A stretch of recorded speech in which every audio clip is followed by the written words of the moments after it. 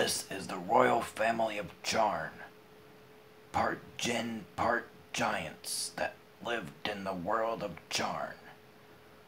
Their world was destroyed when Jadis uttered the deplorable word